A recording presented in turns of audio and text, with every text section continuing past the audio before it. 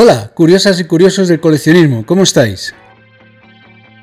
Aquí estoy de nuevo para enseñaros una cartera, la cartera de Chipre del año 2008.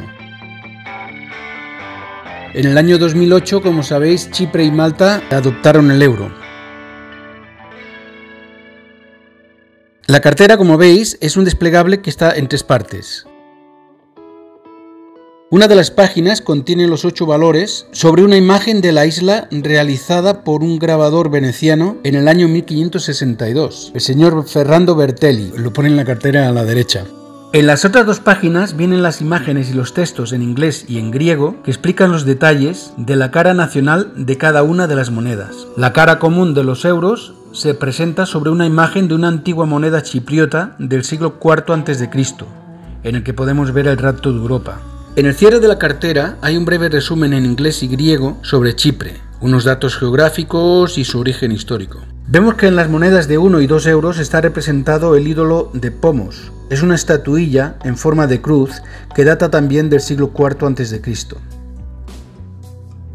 Las tres monedas intermedias de 10, 20 y 50 céntimos muestran el barco de Quirenia, que es el pecio o los restos de hundimiento de un, eh, barco mercante griego, que estaba muy bien conservado, también data del siglo IV a.C.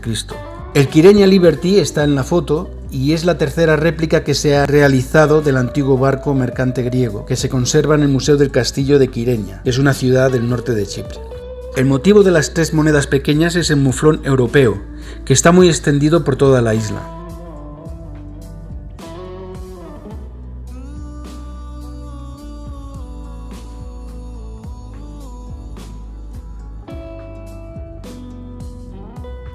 Esta cartera tuvo una tirada de 70.000 ejemplares, aunque las monedas existen en, millones, ¿eh? los millones de unidades de cada una de ellas precisamente para abastecer a la población eh, chipriota.